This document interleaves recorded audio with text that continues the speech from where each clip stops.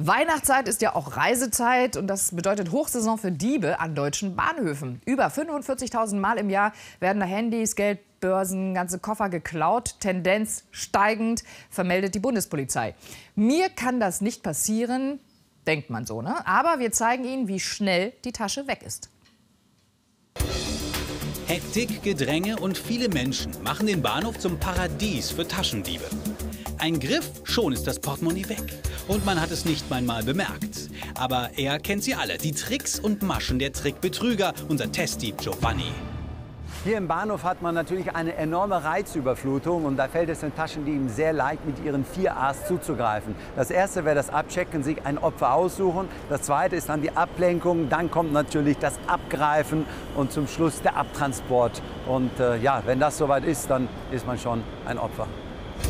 Für die Opfer ist das alles andere als lustig. Meist ist es längst zu spät, bevor man den Diebstahl überhaupt bemerkt hat. Das Prinzip ist dabei immer gleich. Ist das Opfer erstmal abgelenkt, greift der Dieb zu. Die offene Handtasche dieser jungen Frau sticht Giovanni sofort ins Auge. Um an den Inhalt zu kommen, soll sein Komplize die Frau ablenken. Giovanni schleicht sich von hinten an, schon ist das Portemonnaie weg. Können Sie sich vorstellen, dass man durch Ablenkung etwas daraus klauen das ist nicht könnte? Ernst. Ich dachte schon, ich kenne das doch. Oh mein Gott. Das kommt Ihnen bekannt vor. Ja, Wissen Sie, wann das passiert ist? Ja, als er mich gefragt hat, welcher Eingang. Ach, genau.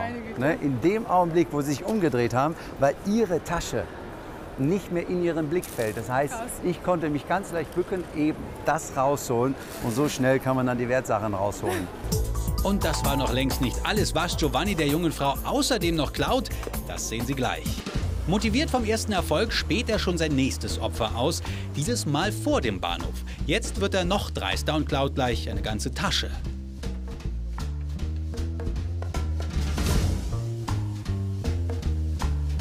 Vorhin hat ein Herr Sie nach Feuer gefragt. Haben Sie gesehen, was er mitgenommen hat? Nee. Der Herr, der Sie nach Feuer gefragt hat, hat Ihre Tasche mitgenommen. Sie haben sich zwar noch mal umgesehen, aber auf einmal hat er die Tasche mitgenommen. Und wir haben das die ganze Zeit drauf. Die Tasche echt Glück gehabt. Sie werden von einer Seite angesprochen, von der anderen Seite angesprochen und schon verschwinden die Sachen. Das geht schneller, als man Meine denkt. Nicht. Ja, du hast ja auch zwischen ja. den Beinen. Normalerweise passe ich auch mehr auf, aber es ist äh, wirklich ah, ja. Abgelenkt. So, aha, aha, aha, abgelenkt. Was? Nee, da vorne rechts. Weg war's. Schauen Sie mal, da die ganze Asche da drauf. Soll ich die, ja, nein, soll ich nein, die mal anmachen? Nein, nein, nein, warte, warte. Nein, nein, nein, nein, nur, nur, dass man sieht, eben, siehst du, wie schnell das geht. Das wäre auch verschwunden, eben das Handy. Aber sonst noch ein Portemonnaie mit oder so? Oder sind hier nur, nee, nee, da ist äh, echt ein Portemonnaie. Nee, aber Mont Blanc auch. Und sonst hier Handy und irgendwelche anderen Wertsachen da? Hausschlüssel. Okay. Na gut, dann noch viel Spaß. Nee, nee fassen Sie mich jetzt nicht mehr an. Nein, nein, alles gut. Da ist die Hand weg. Nein, nein, alles gut, alles gut. Bis später dann. Ja, das, das fehlt jetzt nicht. Doch, das Portemonnaie. Wenn Sie noch ein Handy aussuchen, oder? Hast du mir nicht vorhin zurückgegeben? Nee, nee, nur so getan, als ob. Jetzt ist aber gut. Er geht noch einen Schritt weiter. Klappen seine Tricks auch bei einem, der es besser wissen müsste? Zur Ablenkung fragt er den Schaffner nach einem gemeinsamen Foto. Da in die Kamera reinschauen, da in die Kamera reinschauen. Haben Sie es bemerkt? Auf den ersten Blick ist der Diebstahl kaum zu sehen. Hier die Szene noch mal in Zeitlupe. Das ist die Verbrecher. Danke, ja.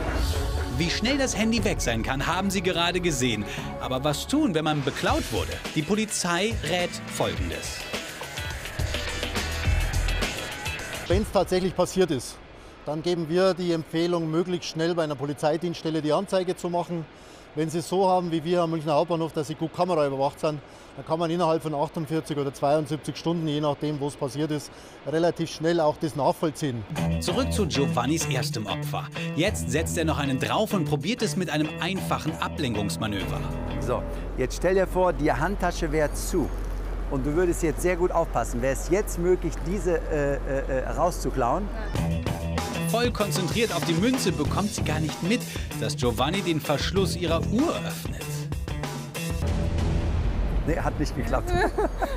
normalerweise klappt's, normalerweise klappt's. Ähm, okay. die Münze konnte ich dir aber nicht klauen, weil du diesmal aufgepasst hast. Aber ich konnte dir etwas anderes klauen. Pass auf, es kommt langsam von der Seite rum.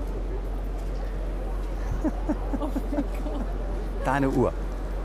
Dass unser Profidieb so erfolgreich ist, hätten selbst wir nicht gedacht. Aber was sagt er selbst dazu? Fazit vom heutigen Tage. Wir haben wieder sehr, sehr viele Handys, Portemonnaies, Uhren und natürlich auch viele Taschen. Denn gerade in äh, der Sekunde, wo die äh, Menschen unaufmerksam waren, gerade kurz weggeguckt haben oder von einem Partner angesprochen wurden, da konnte ich zugreifen und die Sachen einfach entwenden. Und diese haben es erst viel später gemerkt. Giovanni hat uns gezeigt, wie einfach wir es den Taschendieben machen, an unsere Wertsachen zu kommen. Also denken Sie daran. Sicherheitshinweis. Lassen Sie Ihr Gepäck nicht unbeaufsichtigt.